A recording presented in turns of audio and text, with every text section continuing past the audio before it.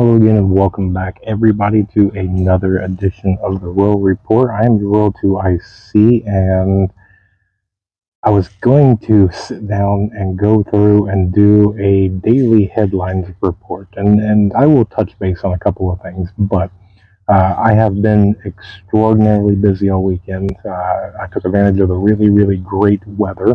Uh, as you can see behind me, uh, my, my green screen crew took the weekend off, so I had to come outside for the real thing.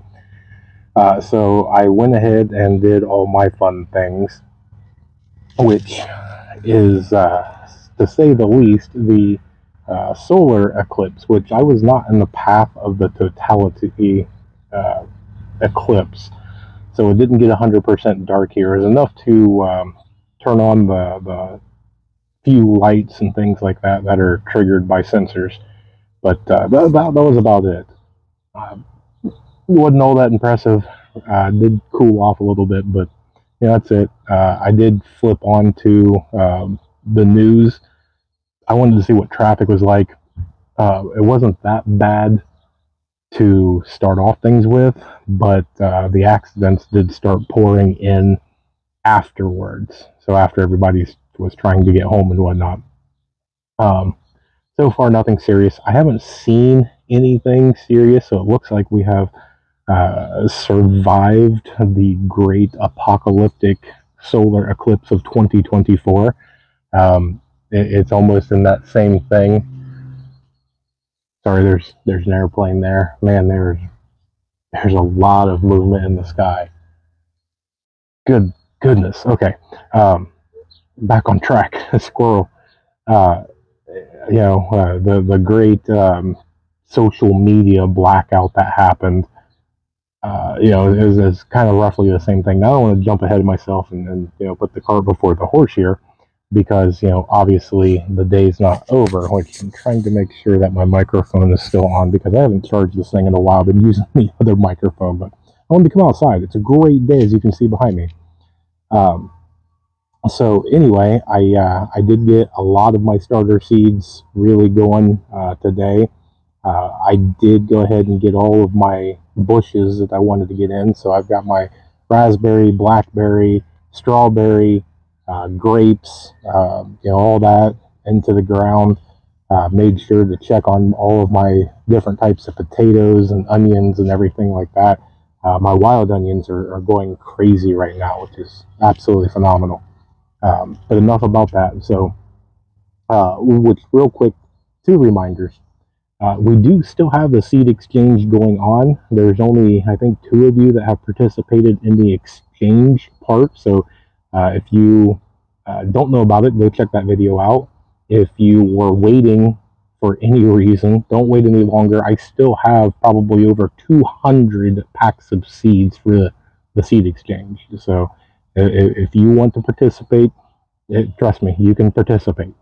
Uh, second is the Kaleb House contest that kicked off Saturday. Uh, so far, I think I only have one entry. Uh, I probably, because I shared that on, on Facebook, I, I, have been kicking myself because I absolutely despise and loathe the people that do the at everybody, but this is very, very important, and I think I might pull uh, the, the trigger on that, so to speak because it's important. I really want to get that out there. Uh, please go check that out if you haven't. If you have, share it out with some people.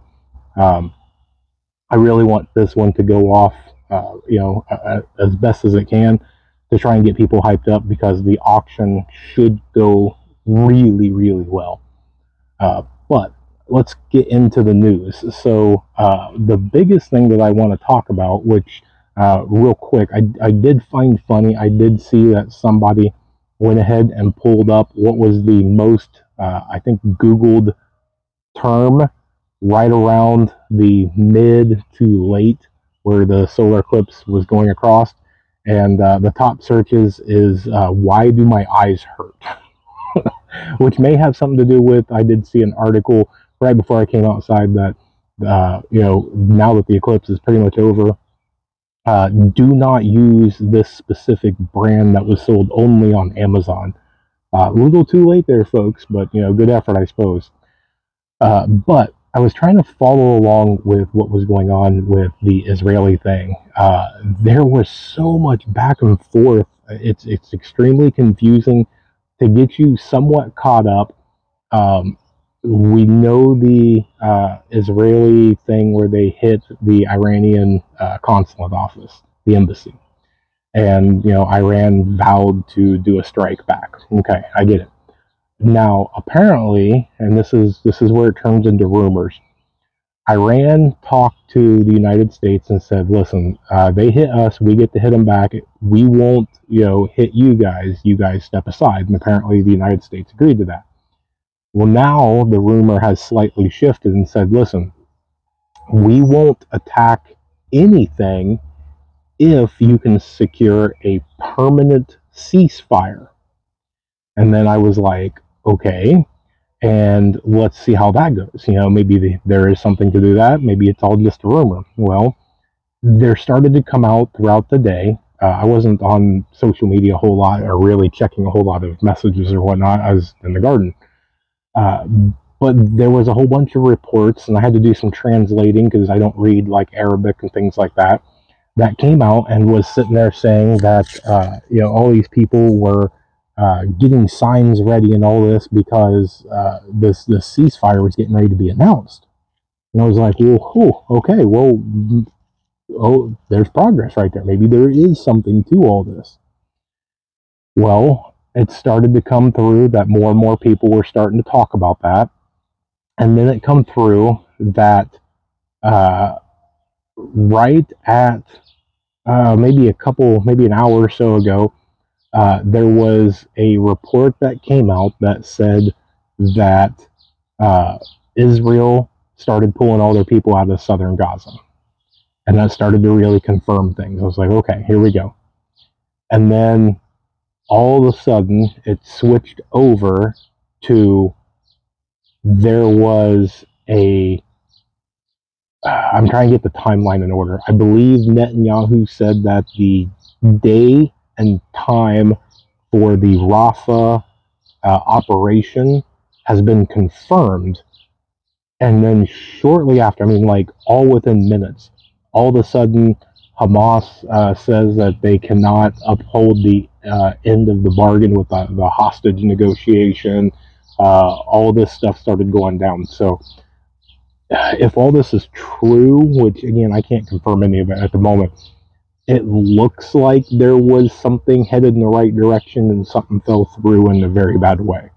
That's the way it kind of looks like. So it's going to be interesting tonight, tomorrow, the next couple of days, and things like that to see how all this pans out.